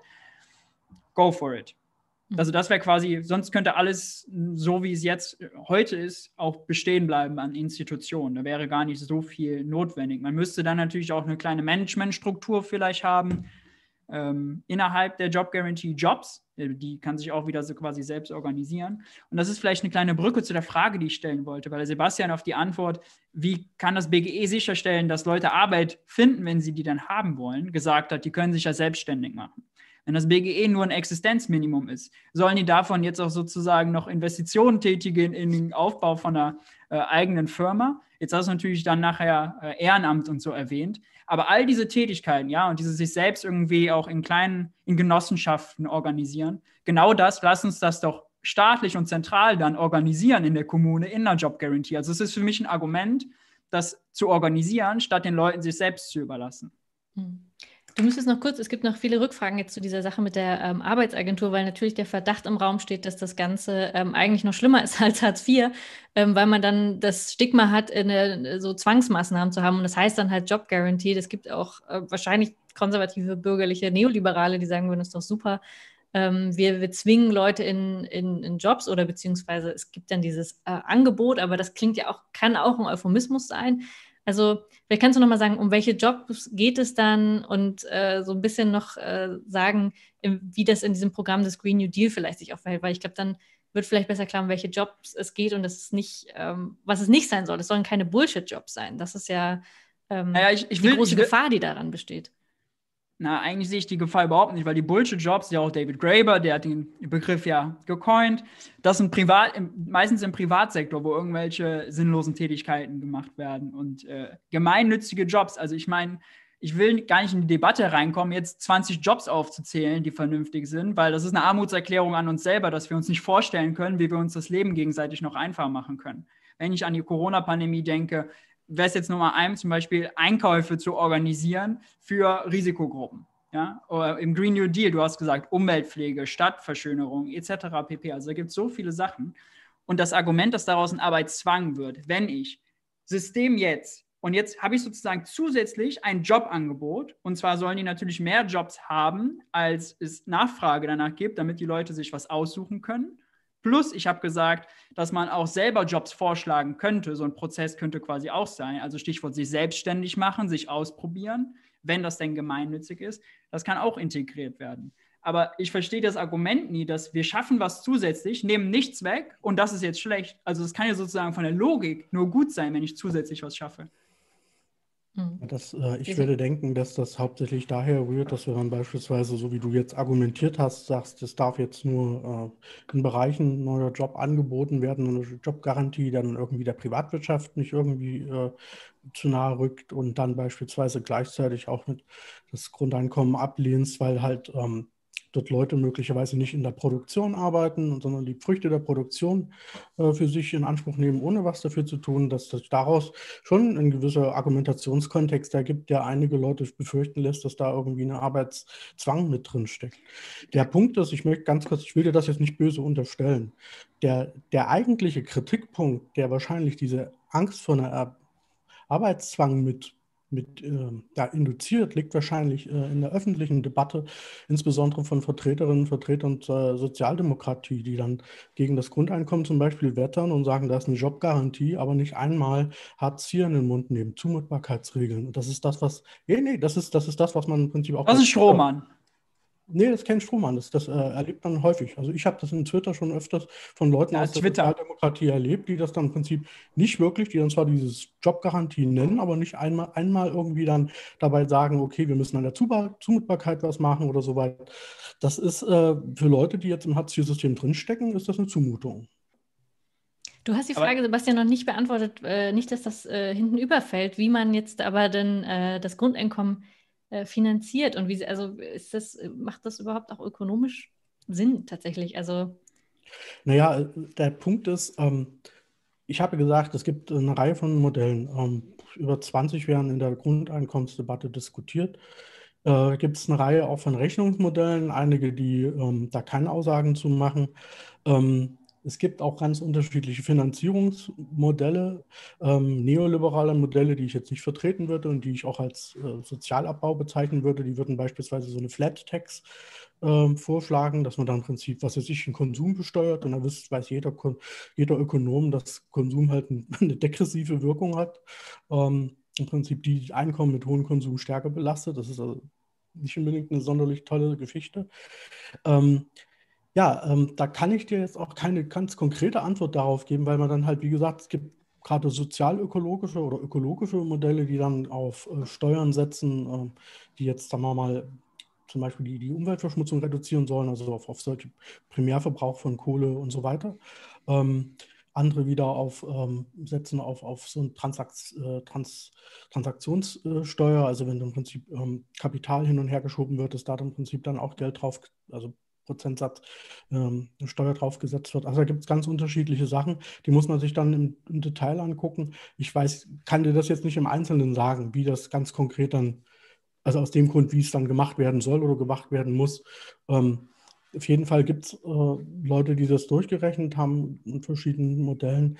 Es gibt auch einige, die das nicht machen. So, und da ist dann die Frage durchaus berechtigt, wie das dann tatsächlich umgesetzt werden soll. Und da gibt es natürlich tatsächlich ähm, auch einen blinden Fleck, wenn man das ähm, so allgemein zum Beispiel diskutiert oder sich zum Beispiel nur die neoliberalen Modelle raussucht und dann sagt, das Grundeinkommen lässt sich nicht finanzieren oder ist asozial. Ja. Ähm, dann würde ich einfach, kann ich jetzt, will ich jetzt auch nicht groß drum herum reden, ähm, guckt man sich beispielsweise mal die Ausführungen von äh, Herrn Blaschke an, der hat ähm, zwei Publikationen mit wirklich einer ganzen Reihe von, von Modellen aufgelistet, wo nochmal die Berechnungen, die Finanzierungsgrundlagen und im Detail dann erläutert sind. Mhm. Um vielleicht die MMT-Sicht da einmal reinzubringen, weil die ja da äh, ganz gut passt. Also ich würde sagen, die Finanzierungsfrage ist eigentlich die trivialste auch für ein BGE. Mhm. Das ökonomische Problem ist vielmehr, es ist ein einmaliger Einkommensschub, ja, weil die Leute sozusagen zusätzliches Einkommen haben. Es ändert aber nichts sozusagen an, an dem Rest und dadurch hat natürlich eine krasse Inflationsgefahr, ja, weil die Leute sozusagen jetzt dann mehr nachfragen können, ohne dass man irgendwo sonst was geändert hat. Und das ist eben der Unterschied bei der Job Guarantee, die quasi abhängig vom Konjunkturzyklus die Ausgaben steuert. Wenn die Wirtschaft boomt, dann sind weniger Leute in der Job Guarantee, also auch weniger Nachfrage daraus, weniger Staatsausgaben durch die Job Guarantee. Und das stabilisiert die Wirtschaft eben. Und dieser Stabilisierungsfunktion diese Stabilisierungsfunktion fehlt halt in der BGE komplett. Einmaliger Einkommenspush und das war's. Ja, da würde ich aber widersprechen, weil die Ausgaben für den Konsum sind dann äh, in einer gewissen Weise im Prinzip tatsächlich auch immer wieder zu machen und die kann dann auch als endogene Stabilisator dann wirken. Und ähm, Nee, die sind ja unabhängig vom Konjunkturzyklus. Egal wie die Wirtschaft läuft das, läuft, das Einkommen ist dasselbe. Deswegen ist es kein Stabilisator. Ja, das wirkt, aber, das wirkt aber antizyklisch. Nein, das wirkt nicht antizyklisch, weil die ganze Zeit bezahlt wird, egal ob die Wirtschaft gut läuft oder nicht. Das ist ja genau, kein antizyklischer also, um Stabilisator. Ein Kritikpunkt auch da, um da noch mal ein bisschen nachzuschärfen. Wir haben ähm, aber auch noch viele andere ähm, Fragen, aber um an dem Punkt kurz zu bleiben, ist ja auch die Kritik ähm, am BGE, dass das eben so ein Gießkannenprinzip ist. Ne? Also, dass man dann einfach allen was mhm. gibt und der Millionär braucht es ja eigentlich nicht. Also, das ist ja auch ein schließt jetzt so ein bisschen an das an, was äh, Maurice gesagt hat, das kriegen einfach alle die ganze Zeit, während sie jetzt, so wie ich es verstehe, ähm, die Jobgarantie eben immer dann greift, wenn es eigentlich diesen Bedarf gibt. Nicht den, den Einkommensbedarf als solchen, aber ähm, sozusagen mit einem gemeinsamen Mindestlohn zumindest immer dann ausgleicht, während eben dieses äh, Gießkannenprinzip eben bedeutet, alle kriegen es zur gleichen Zeit. Wie reagierst du auf diese Kritik, ähm, Sebastian, dass es dann halt kein, äh, niemand mehr nach dem Bedarf fragt und wir im Prinzip Geld ausgeben für Leute, die es halt wirklich überhaupt nicht brauchen? Hm, naja, im Grunde ist es so, dass ähm, wenn du, wenn du das so argumentierst, man dann auch mit dem Verhältnismäßigkeitsprinzip argumentieren kann und sagen kann, nur weil du vielleicht, was weiß ich, ein, zwei, 20 Prozent der Gesellschaft dieses Grundeinkommen nicht gönnst, aus, aus solchen Gerechtigkeitsüberlegungen gönnst du dann den anderen Leuten, die es vielleicht brauchen, dieses Grundeinkommen nicht. Ähm, das ist eine schwierige Geschichte, weil man dann auch sagen könnte, okay, das sind so wenige Leute, knicken wir das. Ja? Das ist genau das gleiche wie mit diesen Sanktionsgeschichten im Hartz-IV-System. Das ist so ein geringer Teil, dass man dann theoretisch, also der dann da auch sanktioniert wird, dass man eigentlich auch sagen kann, so wie, wie man dort agiert, das ist eigentlich ähm, ja, unverhältnismäßig. Und genauso ist das beim Grundeinkommen auch. Ich meine, wenn, wenn da ein paar Leute, äh, Milliardäre irgendwie für 1000 oder 1200 Euro oder was das jetzt sein sollen, jetzt bekommen, pff, ist das jetzt, äh, also ich, ich, hätte da jetzt, jetzt nicht unbedingt das grundsätzlich ganz große Problem damit, zumal ja dann auch letzten Endes auch noch mit geguckt werden muss, wie dann tatsächlich das Steuersystem ausgestattet ist. Die Grundeinkommensmodelle sind ja nicht so, dass die, ähm, sagen wir mal, äh, jetzt einfach nur ein Grundeinkommen auszahlen und das war, sondern da stecken ja zum großen Teil Überlegungen mit da, da drin, wie man äh, Steuersysteme anders gestaltet. Und dann würde der, die Ungerechtigkeit, die du an der Stelle mit der Gießkanne siehst, wird an anderer Stelle kompensiert durch eine, was weiß ich, eine höhere Steuer oder eine Abgabe oder ähm, Erbschaftssteuer und sowas. Also das ist, ähm, also das müsste man also immer kombiniert äh, sehen, sonst wäre es halt, also ich glaube, sonst würde es einfach vom Gerechtigkeitsempfinden niemanden überzeugen, wenn man nicht gleichzeitig sagen würde, okay, der Millionär muss eigentlich auch das BGI finanzieren, so kam auch gerade ein Kommentar. Ähm, sonst wird es ein bisschen abstrus. Also, weil ich glaube schon, dass es so ein, äh, um politisch überzeugend zu sein, muss es, glaube ich, schon an so ein Gerechtigkeitsempfinden anknüpfen, tatsächlich auch. Ja, das kann man, also ich persönlich finde es nicht überzeugend, weil es halt, wie gesagt, so ist, dass ich im Prinzip den, den einen Million, bloß weil ich den ein oder zwei Millionären, die ich da im, Umkreis, Umkreis habe, das Grundeinkommen nicht gönne, ähm, sollen dann die anderen Leute, im, ja, sagen wir mal, unterhalb des Existenzminimums vielleicht leben oder so. Nee, nee, also das ist mir ein bisschen zu billig. Das ist doch gar nicht die Diskussion. Es ist die Diskussion, soll man es targeted oder nicht targeted machen? Und du sagst untargeted und dann sind häufig die Argumente, es ist administrativer Aufwand, den man sich spart und Bedürftigkeitsprüfung und Zumutbarkeit. Aber ich meine, also diese ganze Zumutbarkeit kannst du ja rausnehmen. Du kannst eben nach Bedürftigkeit gehen, bis du das Einkommen und dann entweder ja oder nein. Also das ist also administrativ vor allem das Argument zu sagen, wir prüfen nicht vorneweg, aber dann irgendwie das Steuersystem zu ändern, wo wieder administrativer Rattenschwanz ist, das macht da ist ein Widerspruch, oder? Und würde es dann aber eine Bedarfs-, äh, also um wieder zu dieser äh, Mindestsicherung oder ähm, Bedarfssicherung kommen, ähm, wenn die dann nach Bedarfen geregelt würde, müsste man ja aber trotzdem da auch wieder die Bürokratie eher abbauen. Also um eben nicht wieder in so ein Hartz-IV-Ding äh, und, und Sanktionsding zu verfallen, müsste, also wäre das ja auf jeden Fall das, worauf, sich, worauf ihr euch beide einigen müsstet ähm, und was auch in den Kommentaren kam. Geht es nicht zusammen, dass man eine Jobgarantie hat und eine Mindestsicherung, die eigentlich die Höhe dieses bedingungslosen Grundeinkommens hat, die aber sehr, sehr leicht zu bekommen ist für alle? Wäre das, wär das eine Lösung, äh, die verbindend ist, mit der ihr beide leben könntet sozusagen? Also du zuerst. Ja, also ich persönlich äh, bin äh, aus, aus also ich habe durchaus auch ziemlich konzeptionelle Probleme mit dem Grundeinkommen, muss ich dazu sagen. Deshalb lande ich am Ende auch nicht bei einem Grundeinkommen, sondern eher tatsächlich bei einer, äh, einer sozialen Sicherung, die halt aber mit niedrigen ähm, Bedürftigkeitsprüfungen ähm, arbeitet. So. Und da habe ich das Problem, das du jetzt auch gerade angesprochen hattest mit den Millionären nicht. Ähm, ähm das ist so, deshalb in, dem Kontext habe ich auch kein großes Problem mit der Jobgarantie. Warum auch? Das kann man zusammenbringen. Äh, ich, ich, sehe auch diese Konf die Frontstellung an der Stelle nicht. Also ich sehe das als, als kombinierbar, sogar auch als sinnvoll. Man kann das auch, äh, der, der Punkt ist ja hauptsächlich der, warum wir überhaupt über das Grundeinkommen reden, dass wir so stark in der Arbeits- und Marktgesellschaft gedanklich drinstecken, dass jede Bewegung weg von einem Erwerbsmythos, der jetzt beispielsweise vom Arbeitszwang, den wir in Hartz IV haben, weggeht, ja, der jetzt irgendwie ähm, den Menschen ein höheres Einkommen garantiert, damit die halt tatsächlich, wenn sie jetzt wie bei Corona ähm, sich die Masken leisten können, wo man dann nicht erst irgendwie erst noch einen großen Rummel im Internet oder so machen muss, äh, weil, weil das äh, völlig irrsinnig ist, dass man die, diese, diese Ausgaben nicht mit irgendwie mit ab, ab, absichert. Also vor dem Hintergrund denke ich, dass man da eine Menge machen kann und dass da im Grunde genommen auch ähm, beides zusammengeht. Ähm, also ich, ich habe da äh, habe da bloß, habe da wie gesagt eher das Problem, dass man, wie gesagt, immer wenn man so eine Erleichterung im jetzigen Sozialsystem macht, man automatisch in der BGE-Ecke ist, ist ja auch klar, weil das halt für das Maximum äh, an, an, an Wegfall von Erwerbszwang steht, zumindest so kommuniziert wird. Und ähm, dadurch haben wir diese Debatte an sich immer wieder und diese Gegensätze vielleicht auch. Und äh, wie gesagt, also ich selber denke, dass wir das am Ende wahrscheinlich mit so einer ordentlichen sozialen Absicherung haben könnten, die halt wesentlich humaner gestaltet ist mit der Bedürftigkeitsprüfung, als wir das jetzt haben. Und das würde schon in Richtung BGE gehen, in vielen Aspekten. Wäre kein BGE, aber es würde viel in diese Richtung gehen. Und das wäre natürlich kombinierbar mit, dem, mit der Jobgarantie. Also ich finde, was nicht kombinierbar ist, ist eine Jobgarantie und ein bedingungsloses Grundeinkommen, was auch an Quant und Klatten und Manuel Neuer ausgezahlt wird. Was natürlich kombinierbar ist, ist eine Jobgarantie plus ein gezieltes Sicherungssystem, was diese ganzen negativen Seiten vom Hartz-IV-System eben nicht hat. Ja?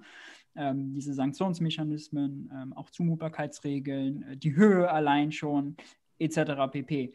Äh, ich finde aber vor allem auch ganz wichtig, dass das Arbeitslosengeld 1, was ja abhängig vom Einkommen Lebensstandard erstmal sichert, dass auch das verlängert wird, weil ein Hartz IV oder auch ein BGE ist halt das Minimum. Ich will aber sozusagen mehr abhängig machen vom vorherigen Lebensstandard, um da noch einen Punkt zu machen in Richtung Sorgearbeit, Care Economy. Das wird ja häufig dann als Argument für das BGE gebracht, ja, dass man sozusagen damit das vergütet und wertschätzt. Das finde ich Schwachsinn. Ich bin total dagegen, weil damit ist sozusagen das, das absolute Minimum, was man dem entgegenbringt. Ich finde, wenn jemand äh, seine Eltern pflegt oder wenn er ein Kind erzieht, sollte er so viel Einkommen haben, dass er seinen Lebensstandard, den er vorher hatte, sichern kann. Das heißt, ein Elterngeld, ein Pflegegeld soll davon abhängig sein, wie viel Einkommen hatte jemand vorher. Nicht eine pauschale Zahlung von 1200 Euro. Und deswegen, man könnte sozusagen diese Zahlung natürlich auch, dass man sagt, drei Jahre Erziehung der Kinder ist Teil der Jobgarantie, könnte man machen. Bin ich aber auch dagegen, weil auch das natürlich wiederum nur dann Mindestlohn wäre. Ich finde, die Leute sollen ihren Lebensstandard während der Zeit halten. Es gibt noch zwei sehr wichtige Aspekte, die wir am Ende äh, besprechen müssen. Ähm, eine kam schon vorher in den Fragen, auf die ich auch wichtig finde, nämlich gibt es überhaupt auch eine soziale Basis? Also, weil ansonsten ist es ja sowieso auch, wie gesagt, immer noch theoretischer äh, Talk, den wir hier machen. Also es gibt zumindest, also wo man das grob sagen kann, von den Milieus her, vielleicht, du hast es am Anfang gesagt, Sebastian, so äh, künstlerische Milieus, ähm, auch Studienmilieus, da kenne ich auch viele, die eher Grundeinkommen zugeneigt sind. Die Linke ist ziemlich darüber gespalten. So kann man das, ähm, glaube ich, von den, von den bisher, was man weiß von Umfragen, ähm, ähm sagen. Dann gibt es eher jetzt die Grünen, die bei ihrem Parteitag auch eher zugeneigt waren zu so einer Grundeinkommensalternative. Jetzt haben die Jusos gerade die äh, Job Guarantee beschlossen. Also es ist ja, es gibt offensichtlich schon so Milieus, die man so zuordnen kann. Ich will das jetzt nicht so grobschlächtig machen, aber ähm, kann man da überhaupt wirklich von einer sozialen Basis sprechen, geschweige denn von einer sozialen Bewegung, die das eine oder das andere ernsthaft tragen, dass man sagen kann, das wird tatsächlich realisiert. Also ähm, ich sehe das bei beiden noch skeptisch. Also ich sehe Ansätze jeweils und wie gesagt, ich sehe auch Milieus, die das ähm, tragen, aber zum Beispiel die große Rolle der Gewerkschaften als Träger, ähm, soziale Akteure haben sich nicht klar positioniert. Also ich sehe nicht so richtig, wo der Drive kommt. Auch bei der Klimabewegung weiß ich nicht ganz genau, ähm, in welche Richtung das geht. Also ich sehe nicht den richtigen Drive von sozialen Akteuren, die das wirklich umsetzen. Ich weiß nicht, wie eure ähm, Einschätzung das ist, aber um mal so einen Reality-Check zu geben, wie ähm, realitätsfern oder nah sind die Vorschläge überhaupt? Also ich glaube, dass politisch eine Jobgarantie viel, ähm, viel mehr Erfolgsaussichten hat, gerade wenn man bedenkt, dass viele Leute Arbeit, Unsicherheit an ihrem Arbeitsplatz haben, ähm, jetzt Strukt kommt Strukturwandel etc. Das heißt natürlich nicht, dass ich den gut bezahlten Job in der braunen Industrie durch eine Jobgarantie-Job ersetzen will, sondern da brauchen wir Industriepolitik, um neue gut bezahlte Jobs zu schaffen. Aber also Malocher, die quasi äh, arbeitslos werden, auch zum Beispiel im Alter arbeitslos werden, also den allen, den sozusagen hat Arbeit total viel ausgemacht, ihre eigene Identität auch geprägt. Und da ist es ein viel besser, ist sozusagen die Job Guarantee der politisch vielversprechende Ansatz.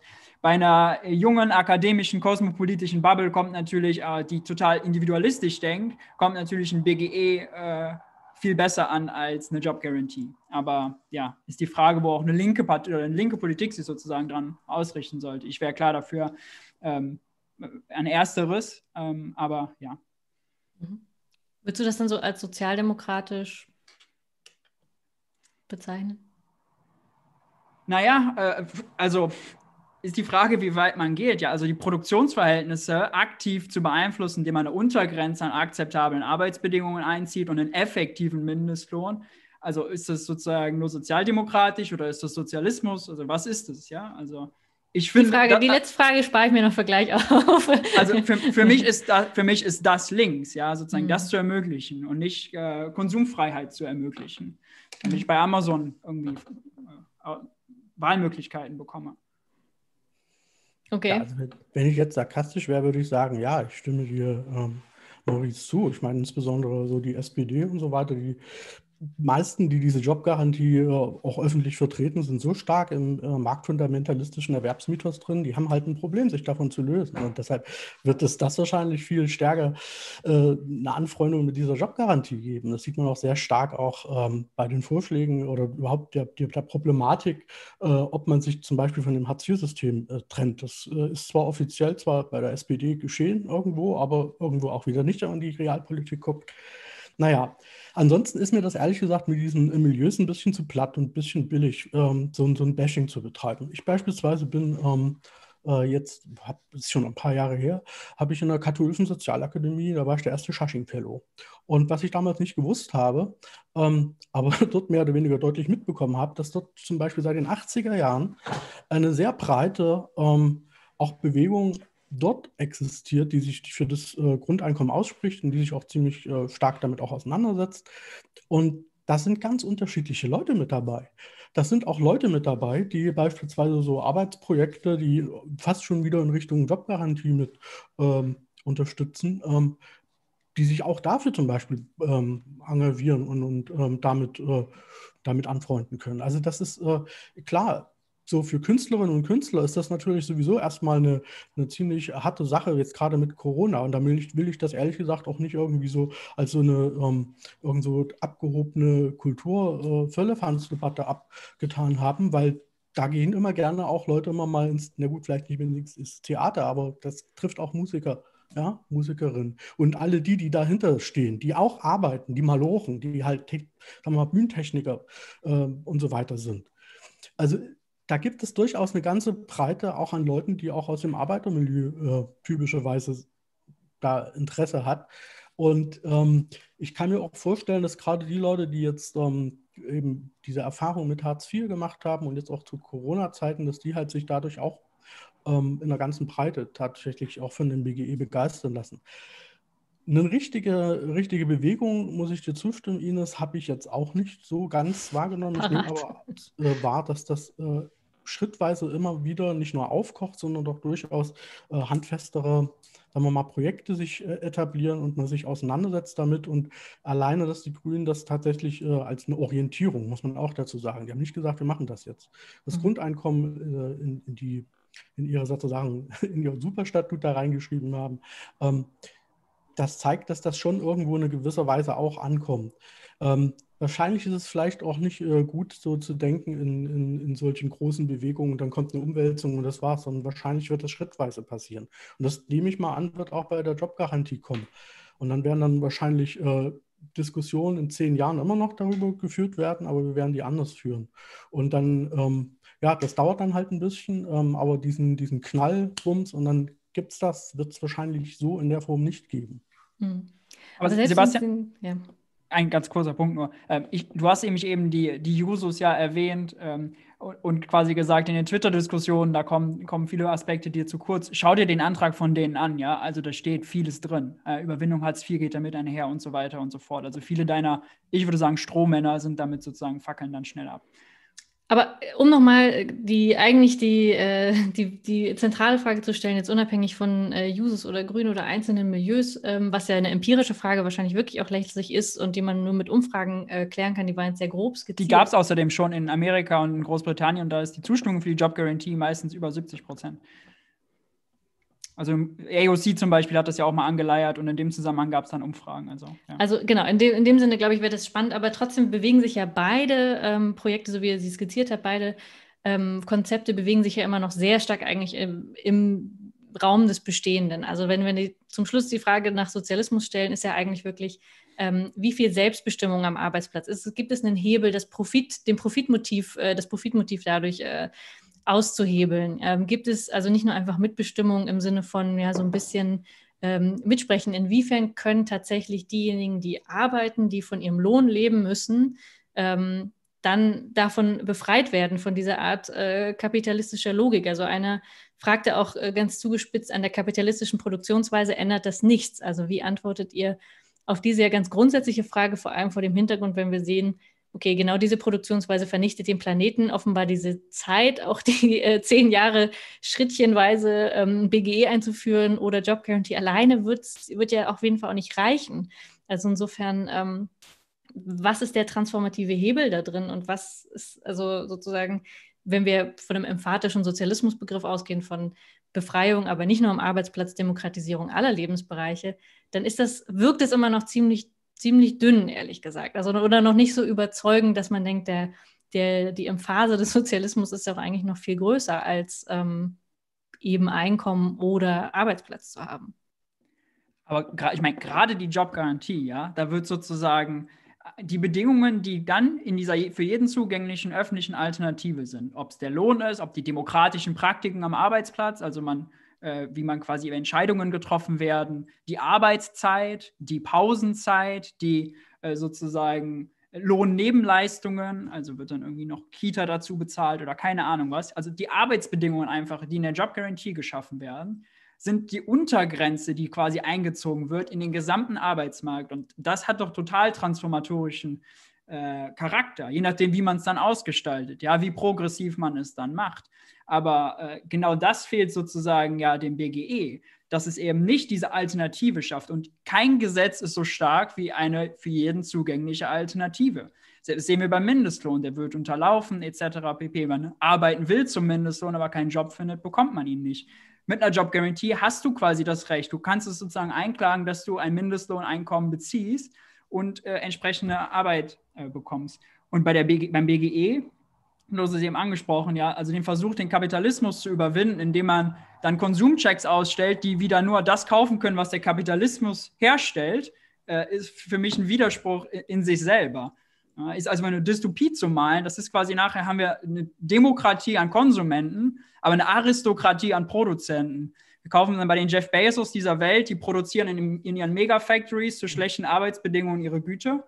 Und wir haben aber alle Konsumchecks und können damit einkaufen. Und irgendwann dann lesen wir das Buch von Friedman und sehen, dass er das da alles vorgeschlagen hat und scheiße. Ärgern. Aber die Job Guarantee bräuchte dann ja auch eine sehr organisierte Arbeiterschaft, dass eben die Job Guarantee nicht nur ist, einen Arbeitsplatz zu haben, sondern eigentlich auch über die Produktion zu bestimmen. Und eigentlich, also mir fehlt trotzdem immer noch dieser eine Hebel, dann zu sagen, ist denn die, ähm, die Seite der Arbeit dadurch so stark gestärkt, dass man sagt, okay, also wir schaffen, äh, wir, uns gehört ja deswegen nicht, uns gehören die Produktionsmittel ja nicht, weil wir ähm, eine Garantie auf den Job haben. Ne? Ich meine, das ist sozusagen eine andere Frage, wie ich den Privatsektor organisiere. Die Job Guarantee ist quasi das, was außerhalb des Privatsektors ist. Und auch die Frage, wie groß soll der öffentliche Sektor allgemein sein, also der reguläre, ist unabhängig von der Job Guarantee der soll so groß sein, wie wir das meinen. Und Gemeinwohlorientierung soll da gelten, wo wir es meinen und Profitorientierung da, wo wir es meinen. Äh, aber der Rest ist sozusagen dann Job Guarantee. Aber die ist mhm. losgelöst von der Frage, wollen wir private Krankenhäuser oder öffentliche? Mhm. Aber eigentlich, genau, also das ist, glaube ich, die Frage, dass man vermutlich ja die meisten diese Emphase oder auch äh, das, was, äh, wo ich sagen würde, dass es die Emphase, die ich darauf legen würde, was Sozialismus bedeutet, dass wir ja eigentlich diesen, diese Privatwirtschaft als solche abschaffen ähm, müssten und nicht einfach nur den Bereich definieren müssten. Das wäre eigentlich das sozusagen System überwindende. Ja, die, die Job Guarantee ist, ist, der Hebel quasi, um den Privatsektor zu verändern. Äh, also nicht um den abzuschaffen, wenn man so will. Ja, ja. Dafür bräuchte es andere Politik. Also Horses for Courses, ja. Verschiedene Pferde für verschiedene Rennen. Aber da ist jetzt aber ein Widerspruch. Wenn du vorhin sagst, dass, äh, die Jobgarantie-Jobs sollen halt nicht den Privatsektor irgendwie beeinflussen, jetzt willst du eine Jobgarantie, die. die ich sage nur, ich sage nee, nicht, dass äh, er. Das ist aber ein Widerspruch, wenn du jetzt Ja. sagst, ja, du sollen jetzt im Prinzip ähm, den nicht beeinflussen, aber dann doch irgendwie, also irgendwie steht das ein bisschen komisch im Raum. Kann ich, kann ich ganz kurz klarstellen. Der soll keine Tätigkeiten, die im Privat, also keine Produkte, die im Privatsektor produziert werden, sollen mit der Job Guarantee produziert werden. Aber Arbeitsverhältnisse konkurrieren natürlich zwischen Job Guarantee und Privatsektor, also Arbeitsbedingungen. Das sind zwei Paar Schuhe. Okay, also das Argument ist, an der einen Seite wird dann trotzdem die Seite der Arbeit gestärkt, so wie ich das verstehe. Ähm, Sebastian, aber du musst auf, diese, auf die ähm, Frage trotzdem auch noch antworten, was die, was die Transformationsstrategie ist, weil tatsächlich eben auch da, da sehe ich es sogar noch ein bisschen kritischer als bei der Job Guarantee, aber beides ist nicht letztlich überzeugend, ähm, weil tatsächlich da eben gar nichts von dem Produktions, da kommen wir wieder ganz am Anfang hin, von der Produktionssphäre direkt verändert wird und eine Stärkung derjenigen, die da arbeiten, egal ob im Sinne von äh, Mitbestimmung über die Produktion, geschweige denn Besitz der Produktionsmittel überhaupt eigentlich nicht in Frage steht. Ne? Also der Punkt ist, ähm, dass die Frage, ob sich das, ähm, ob es da ein Transformationspotenzial drinsteckt, auch ähm, sehr kontrovers diskutiert wird in der BGE-Szene. Also ich würde jetzt sagen, also habe ja vorhin schon erwähnt, es gibt einen schönen Artikel von äh, Hannah Ketterer, die das auch nochmal aufschlüsselt mit Blick auf die Postwachstumsökonomie. Und da kann man das ganz gut erklären. Die sagt nämlich, naja, ähm, die Jobgarantie, äh, Entschuldigung, das BGE ändert ja jetzt erstmal nicht direkt an diesen Arbeitsverhältnissen etwas oder dadurch, dass es so einen Erwerbsmythos gibt. Äh, aber es bietet im Prinzip das Poten Transformationspotenzial. In dem Moment, in dem ich halt nicht ähm, gezwungen werde, in irgendeinen Job reinzugehen, ähm, was halt das BGE ganz bewusst, ja, sagen wir mal, auch, auch, auch vertritt, ähm, kann ich dann auch sagen, ich, ich, ich entziehe mich diesen, diesen Erwerbs, also diesen, diesen Druck, Prinzip arbeiten, Lohnarbeiten zu müssen, um mein Einkommen zu erzielen, um, um am Leben bleiben zu müssen. So, und wenn das gesichert ist, kann ich auch ganz anders zum Beispiel über meinen Konsum nachdenken. Ich kann äh, verzichten, ich kann mich anders äh, organisieren. Ich kann, ähm, ich hatte das vorhin schon auch gebracht, die ganze Geschichte mit äh, sich beispielsweise in den Genossenschaften organisieren. Das wird da auf eine etwas andere, äh, auf eine andere Ebene gestellt. Ich habe dann tatsächlich ein, ein, ein, ein Einkommen, wo ich nicht, oder ich hab, bin in einer Situation, wo ich nicht mehr um meine materielle und soziale Existenz bangen muss. Und daraus kann dann Transformationspotenzial entstehen, sei es beispielsweise eben durch, ähm, dadurch, dass ich halt tatsächlich Zeit habe, um dann mich politisch zu engagieren, sei, sei es dar ähm, dabei, dass ich dann auch beispielsweise eben ähm, gesellschaftliche Tätigkeiten, ähm, die sinnvoll sind, ähm, im Nahkreis mache. Es gibt eben viele Sachen, die dann auch beispielsweise ähm, äh, ja, Zeit benötigen. Und es gibt beispielsweise Postwachstumstheorien oder Ansätze, die sagen, naja, äh, vielleicht muss ich auch viel stärker wieder darauf zurückgehen, meine Sachen selber zu reparieren. Ähm, einen Anspruch haben, dass Produktionsketten oder Produkte so hergestellt werden, dass ich sie dann auch entweder selber reparieren kann oder selber reparieren lassen kann. Nicht so wie das heute mit solchen Wegwerfsachen ist. Das braucht aber dann auch Zeit. Und die habe ich dann mit dem Grundeinkommen. So argumentiert man da. Und das hätte zumindest das Potenzial, Schritt für Schritt transformative Schritte ähm, einzuleiten. Ähm, der wesentliche Knackpunkt, der dort hauptsächlich gesehen wird, ist tatsächlich, dass man un, im Erwerbsmythos drinsteckt und durch diesen, dieses Hamsterrad seine Lohnarbeit oder sein, sein Leben, seine Arbeits- und Lebenszeit zu verkaufen, um sich am Leben halten zu müssen, ähm, auch ein unheimliches auch Drohpotenzial und so weiter mit äh, bedeutet. Und das würde mit diesem Grundeinkommen, so würden viele da in dem Kontext argumentieren, ein bisschen wegfallen. Und dann hätte ich möglicherweise auch das erste Mal ähm, äh, auch, auch tatsächlich eine, eine, freie demokratische Gesellschaft, wo ich dann halt ohne Existenzängste tatsächlich dann auch äh, meine Entscheidung treffen kann. So argumentiert man da. Hm. Aber also man hat mehr, mehr Zeit, sich zu organisieren, um sich dann gegen, gegen die Kapitalisten äh, aufzulehnen. Aber der Kampf bleibt ja, ja immer noch ähm, bestehen, würde ich also das, was ich, das, was ich habe, kann man mir nicht, kann man mir nicht wegnehmen. Der Kapitalist in Anführungsstrichen kann mich immer damit bedrohen, dass ich den Job nicht mehr bekomme, dass ich rausfliege und damit habe ich keine Existenz mehr. So. Aber hm. und bei Maurice würde der Staat einspringen. äh, ja, sorry, ich wollte sagen, ein Lebensstandard, den du glaubst, dass der dir sicher ist, der ist nur dem Einzelnen sicher, weil alle anderen weiter in der kapitalistischen Produktion die Güter und Dienstleistungen produzieren. Weil wenn alle anfangen, jetzt äh, das sein zu lassen und sich in Genossenschaften zu organisieren und eigene Zucchini im Garten anzubauen, dann sinkt unser realer Lebensstandard und dann kannst du mit 1200 BGE eben nicht den Lebensstandard realisieren, den du heute realisieren willst. Das ist makroökonomisch äh, sozusagen blauäugig und total aus einer individualistischen Perspektive. Du schließt vom Individuum auf die gesamte Gesellschaft. Das ist ein, das ist ein Kompositionsfehler. Fallacy of Composition nennt man das. Aber du machst doch genau das Gleiche. Du sagst, du willst mit deiner Jobgarantie auch solche tollen gemeinnützigen, gemeinwohlförderlichen Tätigkeiten fördern. Also ich wäre da mal ein bisschen vorsichtig mit diesem Vorwurf, zumal das im Endeffekt jetzt auch äh, ein sehr, sehr negatives Stereotyp reproduziert. Ich glaube auch, wir sollten nicht wieder zu den Vorwürfen zurückgehen, weil da waren wir am Anfang schon. Wir warten halt zwischenzeitlich eigentlich ein ganz gutes Ergebnis, nämlich dass ihr euch auch eine gemeinsame Versöhnung vorstellen könnt ähm, und sich Job Guarantee und eine Art Mindestsicherung äh, jetzt nicht ausschließen. Das war eine wichtige Frage, die wir zumindest heute beantwortet haben. Den Kapitalismus werden wir mit beiden Konzepten nicht überwinden. Das ähm, war uns auch schon vorher klar. Aber zumindest haben beide nochmal ähm, argumentieren können, ähm, warum das vielleicht trotzdem eine Transformationsperspektive ist. Wir machen ein Magazin äh, für demokratischen Sozialismus. Deswegen haben wir einmal kritisch nachgefragt, weil das die beiden Konzepte sind, die jetzt so auf dem auf dem Tisch liegen. Und ähm, trotzdem werden wir natürlich auch weiterhin, und das haben wir auch in, dem letzten, der letzten Ausgabe gemacht zum Ost New Deal und auch in den nächsten Ausgaben und auch in den nächsten Artikeln, die wir online bringen, die könnt ihr immer frei äh, zugänglich lesen. Nicht nur diese Debatte weiterführen, sondern auch grundsätzlich uns fragen, wie sieht Sozialismus im 21. Jahrhundert aus ähm, und wie ist er umzusetzen. Und ähm, da werden diese beiden Konzepte auch immer wieder eine Rolle spielen, aber darüber hinaus natürlich, wir versuchen alle äh, wirtschaftspolitischen Debatten und äh, Streiks, ich sage es nochmal, die Akteure sind jetzt so ein bisschen hinten rübergefallen. Die äh, halte ich eigentlich für zentral. Also welche Menschen sollen es eigentlich fordern und umsetzen und, und tun? Ähm, die Frage werden wir auf jeden Fall weiter ähm, begleiten. Und äh, ja, ich würde mich freuen, wenn ihr weiter mitmacht, wenn ihr das Magazin lest und abonniert unter jacobin.de slash Abo, denn nur so können wir eigentlich wirklich eine Vorstellung davon gewinnen, wie eine andere Gesellschaft aussieht, eine sozialistische Gesellschaft. Ich bedanke mich äh, bei euch beiden ähm, für die rege Debatte. Gegenseitig mit ein paar Vorwürfen, vielleicht auch ein bisschen äh, fies, aber ich hoffe, insgesamt hat es im Verständnis, ähm, war es da ähm, zuträglich. Und ich bedanke mich auch für eure Fragen. Ich habe versucht, die alle aufzunehmen. Und genau, wir sehen uns dann bald bei dem nächsten Jacobin Livestream hoffentlich wieder. Und ihr könnt nochmal die Artikel auch von Maurice und Sebastian online nachlesen und äh, das Ganze nochmal nachverfolgen. Vielleicht wird es nicht das letzte Mal gewesen sein, dass wir uns so hier treffen.